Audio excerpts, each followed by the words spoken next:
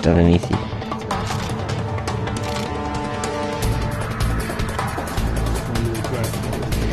Uh, Jax.